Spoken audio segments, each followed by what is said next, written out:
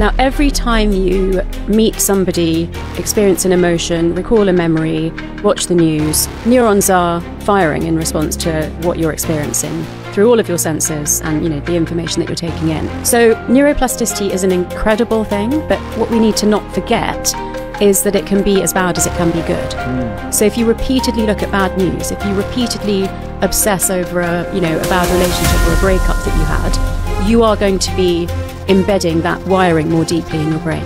Most of the neuroscientists that I know, all the ones I know personally and other ones that I've heard of, don't watch the news mm. or read newspapers. That's powerful.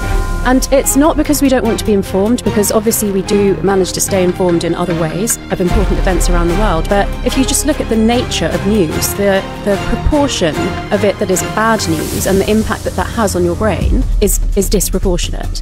So the first thing is to curate your news feeds, your social media feeds, so that you're not getting bombarded with so much bad news and you balance that out for yourself. Of course, life can be hard, so yes, you have to be resilient as well. But the first thing is to take charge of, of what you're actually feeding your brain, and that's everything from your diet to information.